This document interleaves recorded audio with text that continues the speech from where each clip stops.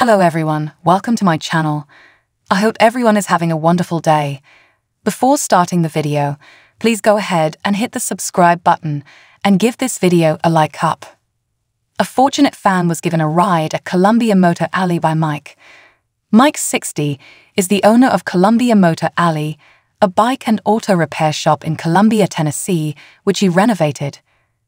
On November 3, Mike was spotted riding his motorcycle with an unidentified woman outside of the former 1947 Chevrolet dealership, according to pictures that were only obtained by the US Sun.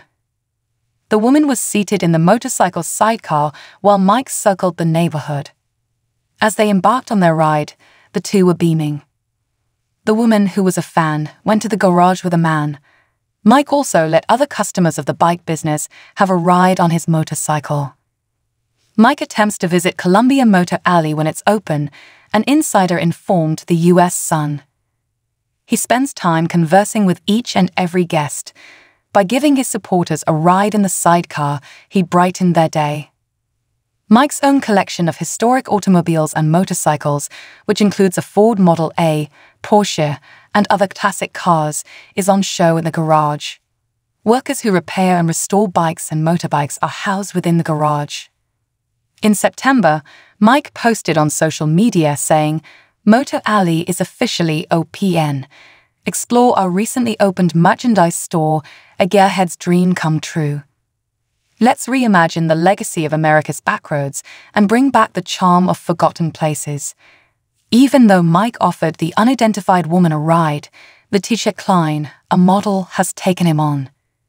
Leticia, 45, and the collector went public with their romance in August 2021 while visiting LeClaire, Iowa, the collector's hometown. Since then, the two have remained strong and frequently share content on social media together.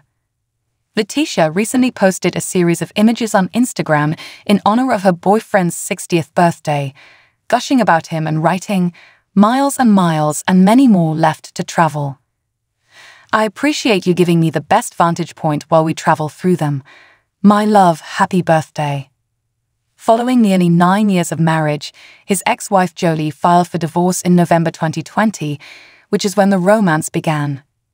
In the divorce, Jodi was awarded approximately $6 million in royalties and alimony. Charlie is their shared daughter. Alongside his brother Robbie and longtime friend Danielle Colby, Mike co stars in American Pickers. Following his dismissal from the show in 2020, original co star Frank Fritz has been recuperating from a stroke he had in July 2022.